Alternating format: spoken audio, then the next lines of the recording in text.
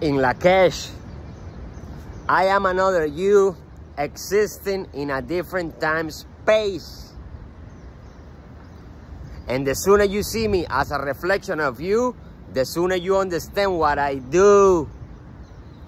I am who I am because of us. We cannot be truly free. We cannot be truly free if someone else is oppressed. That's a big time statement right there. I am who I am because of us. Separation is an illusion of the mind, right? Because looking at the cosmic view, at the big picture, when you look at the cosmic view, you realize that you're everything, everything is you.